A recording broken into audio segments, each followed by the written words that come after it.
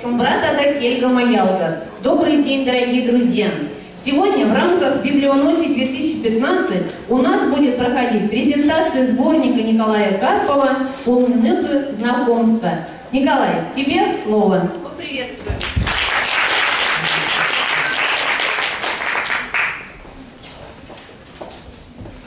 Добрый вечер.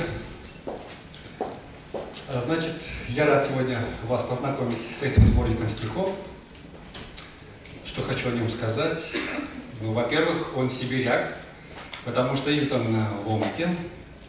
Я надеюсь, его здоровье будет таким же по-сибирски крепким и долголетним.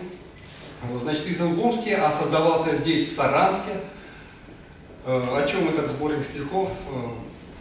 Э, Этот сборник стихов о нашей с вами общей жизни и о моей частной жизни, о моем взгляде из этой частной жизни в общую. Конечно, я пишу о том, что меня волнует, что меня интересует, и в этих стихах то, что я хочу сказать. Ну и я начну со стихотворения, которое открывает этот сборник. Оно называется «Похоже, весна настала».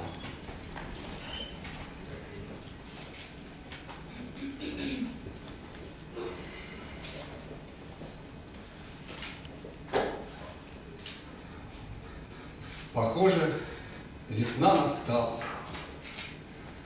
Усталость с плеча упала. Я жив, впрочем, как и прежде, но только сильнее надежда, но только сильнее вера на скользком, обледенелом, и я молю ноги идти и держаться строгих, а стройные наги уж все же весна.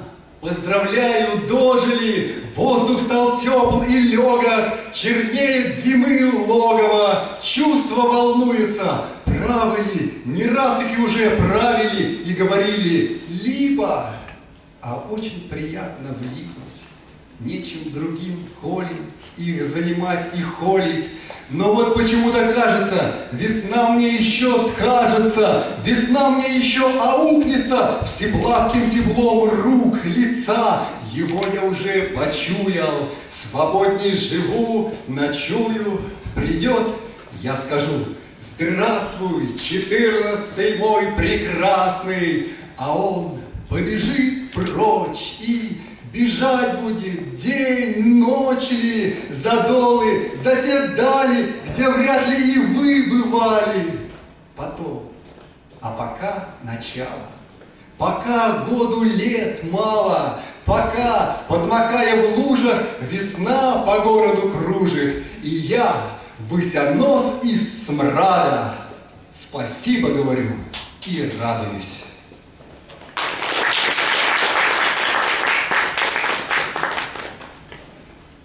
Спасибо. Следующее стихотворение называется «Путешествие». Это триптих э, в трех частях. И часть первая, картина первая, лирическая.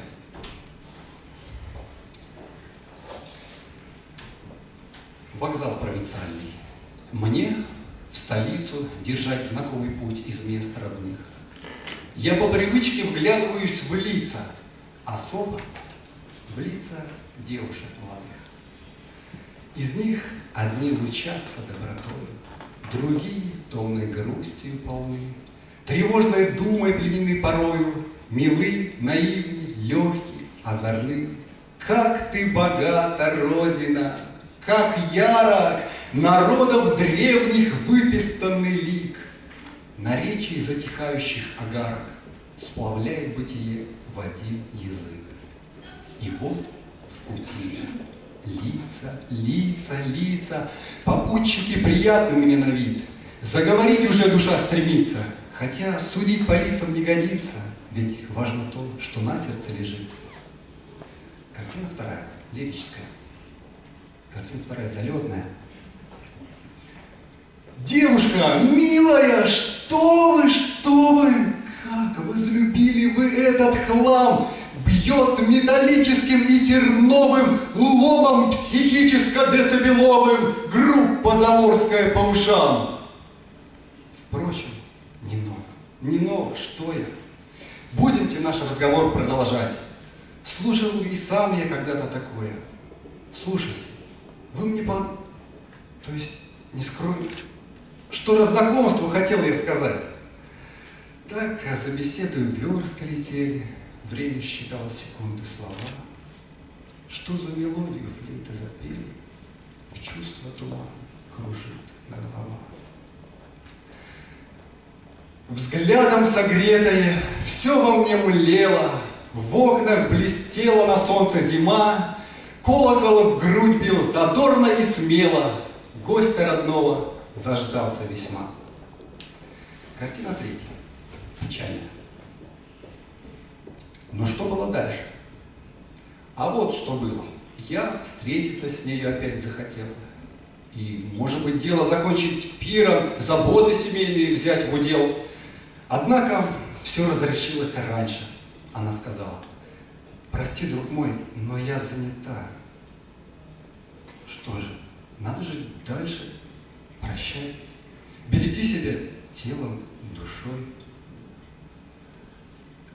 Потом звонила часа в два ночи, просила, мог бы приехать к ней. Она бродила печально очень, одна, в районе вокзала, очень. Я отказал, отказал ей. Вот так все закончилось. Глупо, строго. На утро и впредь на звонки тишина. Сменила свой номер, ведь стыдно ей Богу. Вот так все закончилось. Скоро весна.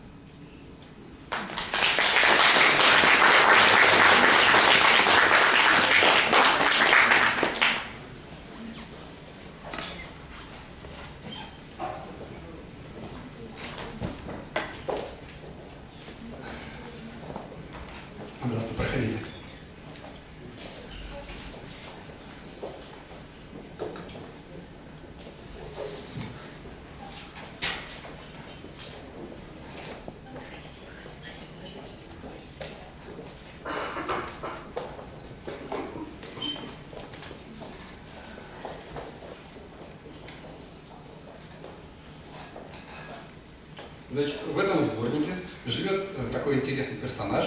Его же зовут Дед Прохор.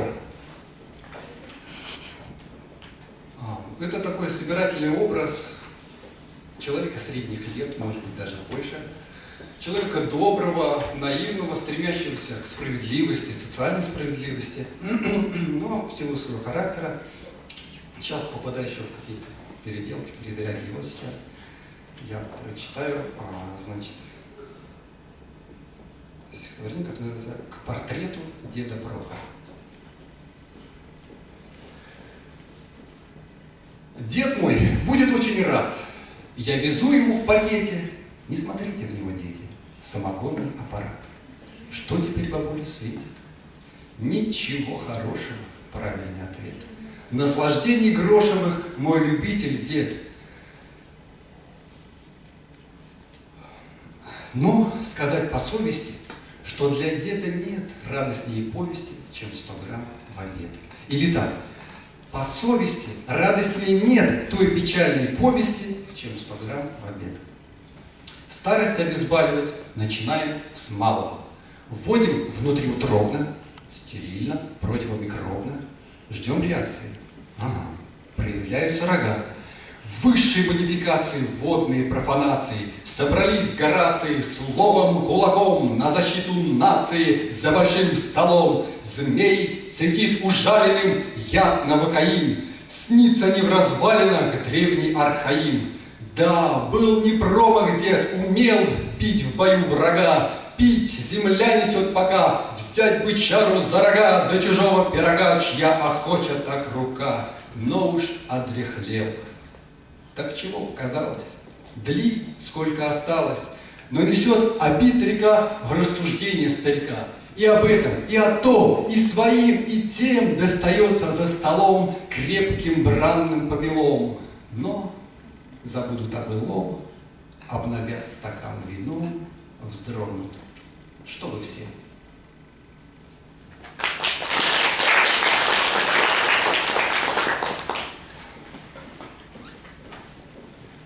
еще одно стихотворение из этого же цикла.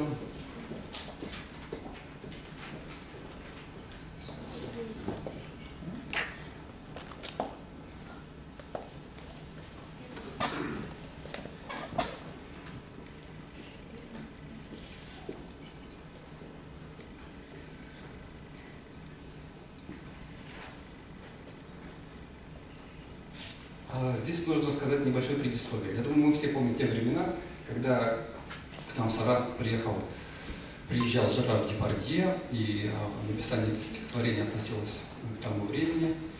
И, значит, а, там будет такое французское выражение «Dis-moi qu'est-ce que ici elle fait?» Что значит «скажи мне, что он здесь делает». Да, запомнили? «Скажи мне, что он здесь делает». Это будет перевод. И еще. Значит, собрание, когда он приехал, проходило в театре оперы и балета. У нас красивом здании, но злые языки, знаете, как его называют иногда? Театр оперы пожара за его красный цвет. Так вот, сейчас я э, прочитаю.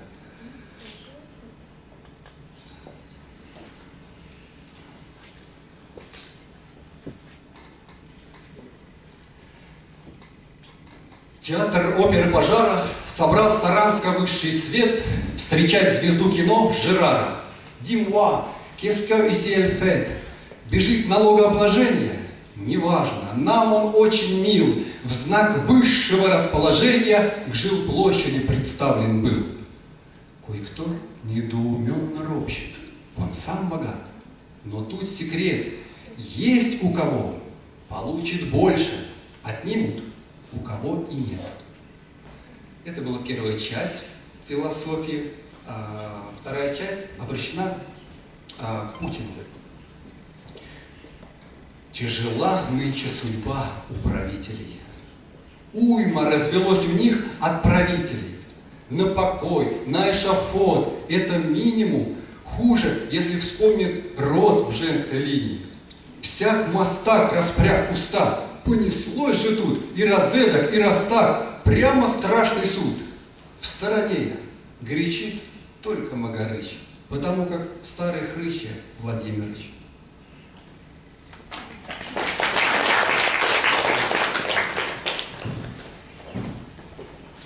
И еще одно а, стихотворение из этого же цикла. Потомка. Трупный запах трубных вод – это наш водопровод. А из вашего окна вся картина не видна. Если где-то дышит смрад, значит мухи полетят. Убивать возьмутся мух, муха в суп кому-то плюх. Дело, в общем-то, не ново. Муха в супе, что ж такого? Помню, в детстве на реке комаров пил в молоке. Делать было нечего, коров пасти. До вечера Да случалось на полях работать до искр в глазах с десяти неполных лет. Справки, жаль, об этом нет. А теперь жизнь хоть куда, на столе всегда еда. Не дай бог такой закон к возвращению тех времен, но и при капитализме не видать вам светлой жизни. Дай вам Бог терпения, сил, мудрости, ума, любви, в чистоте глядите рот и мозгов водопровод. Вот.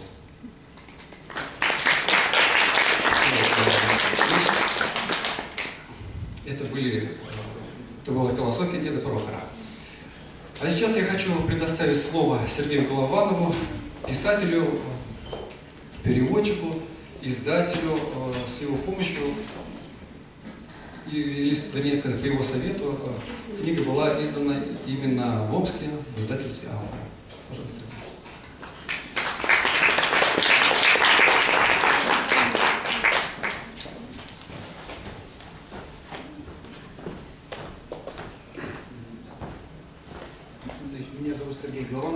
издать. Э, в этом проекте я Николаю посоветовал, как это лучше сделать, потому что, как сказал известный инвестор Уоррен Баффет, в мире много возможностей, весь вопрос в ценах.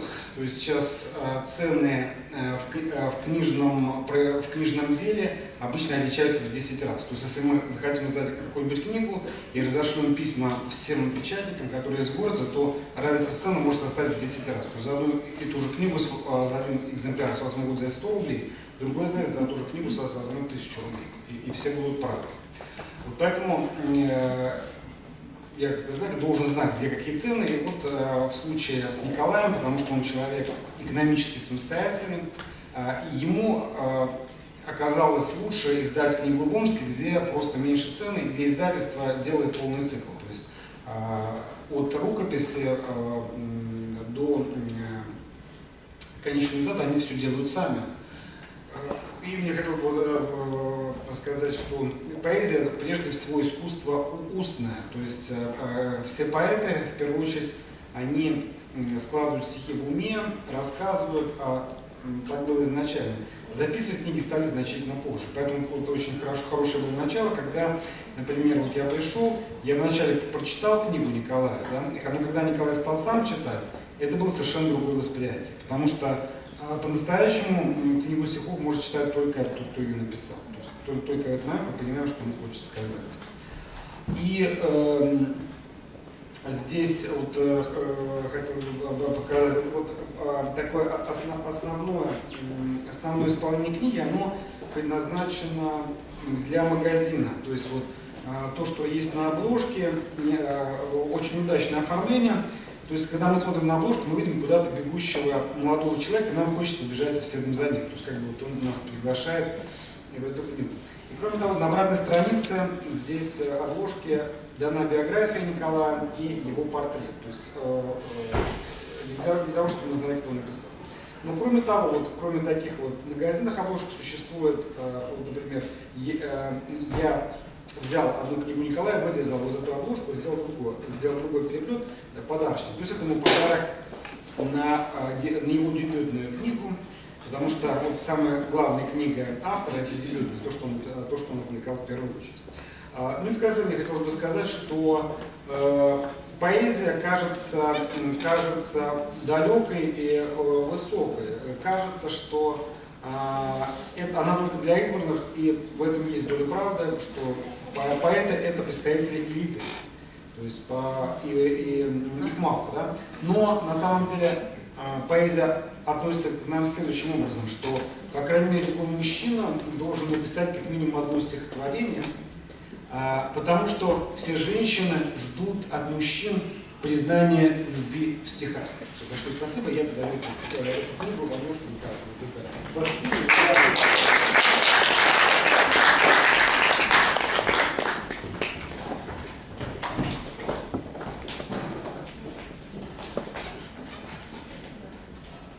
Сейчас я с удовольствием приглашаю моих друзей, которые помогут мне в проведении вечера, в чтении стихов. Это Андрей Кузнецов.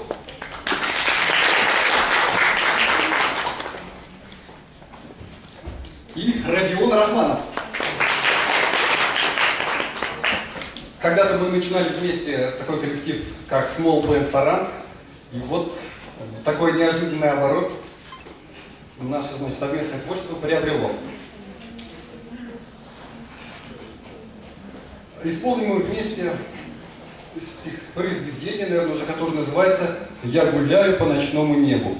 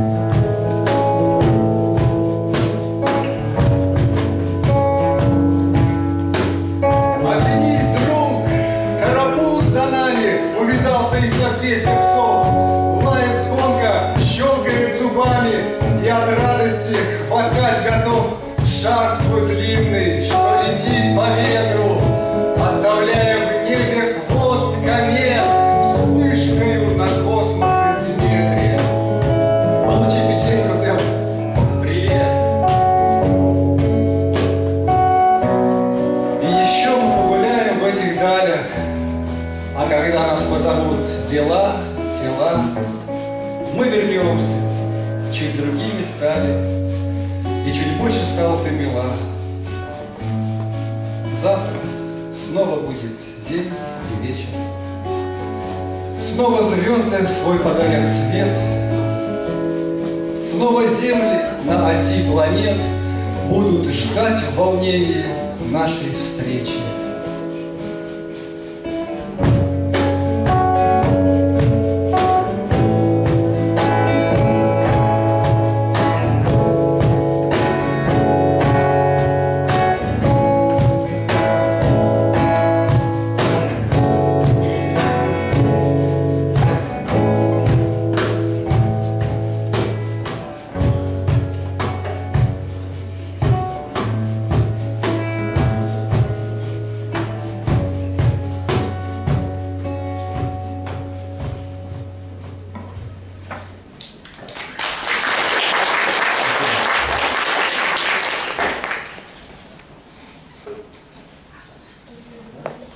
Далее э, стихотворение называется «В нашем мире две кривые жили были».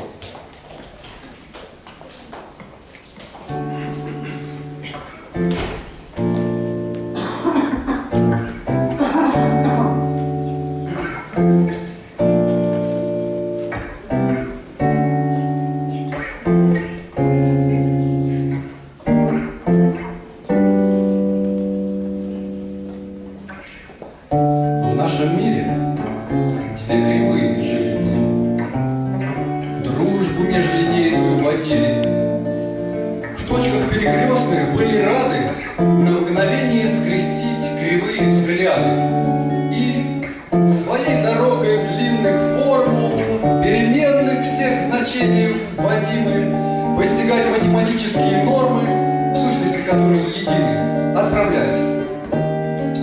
Но однажды так случилось, оглянуться вздумалось кому-то, и кривая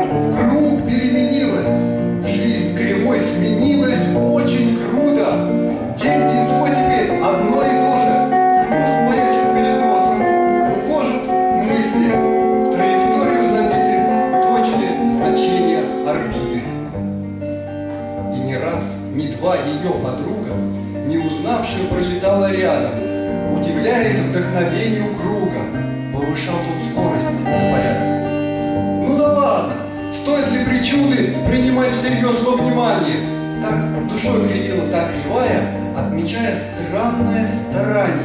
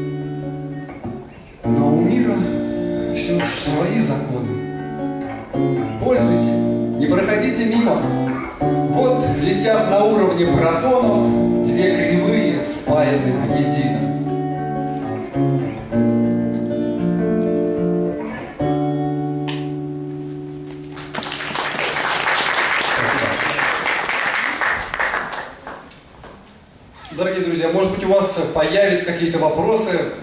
Давайте мы будем так, что у кого появился вопрос, поднимает руку и свободно их можно задавать, для того, чтобы наше, э, наши события были более домашним. Может, что-то у вас есть что спросить. А мы пока сыграем следующую композицию. Называется «Надо давай прощаться».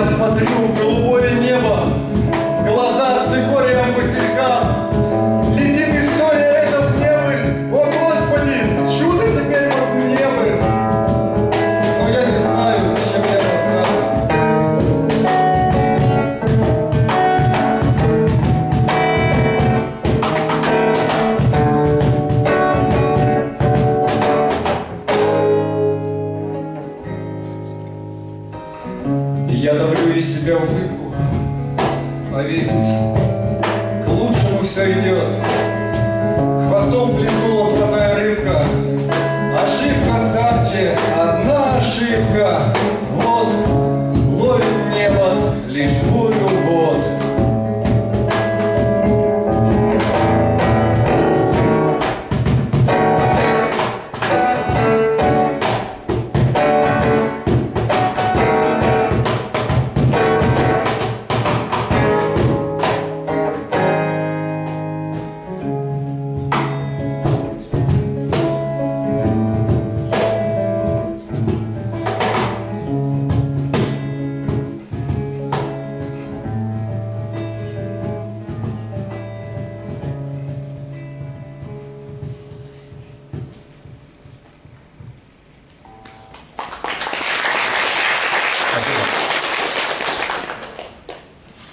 Я хочу предоставить слово Демину Василию Ивановичу, преподавателю Московского государственного университета, профессору, литературоведу. Э, Василий Иванович на втором курсе ввел у нас предмет э, рязанская литература, чему я очень рад. Пожалуйста, Василий Иванович. Спасибо. Я вообще-то сегодня хотел девочек заслушать, думаю, такой талантливый такого мальчика, чтобы он побольше его хвалил. И он действительно заслужил. Он действительно талантливый мальчик. Впрочем, я иногда и сам себя называю мальчиком, когда захожу в журнал «Сятку», говорю, мальчик пришел, вот Генделя Рябова здесь сидит и улыбается, всегда чего улыбается. Вот когда шел сюда и стал перелистывать и будем искать э, рукописные стихи, мы с ним давно связь поддерживаем. Не только потому, что он студент у меня был, а когда уже здесь почти он уже не учится год, он иногда присылает мне по электронке свои стихи, свои мысли, свои размышления. И вот наткнулся сегодня на Ильфа Петрова книгу, ну, 12 ступень, знаете, да? Помните?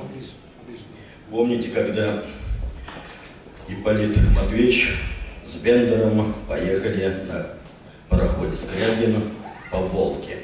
И когда Бендера завел Ипполита Матвеевича на корабль, и завхоз театра удивился.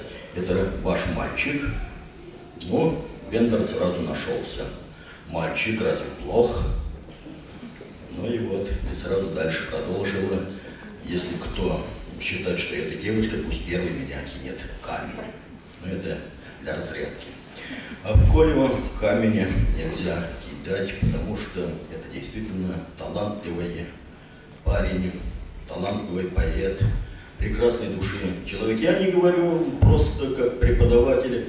Конечно, у нас, у каждого преподавателя есть свои студенты.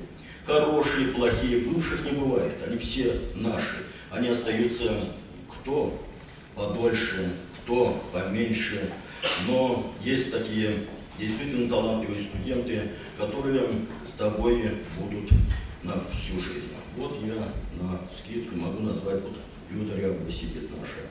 Вот Алины Подгорного нет.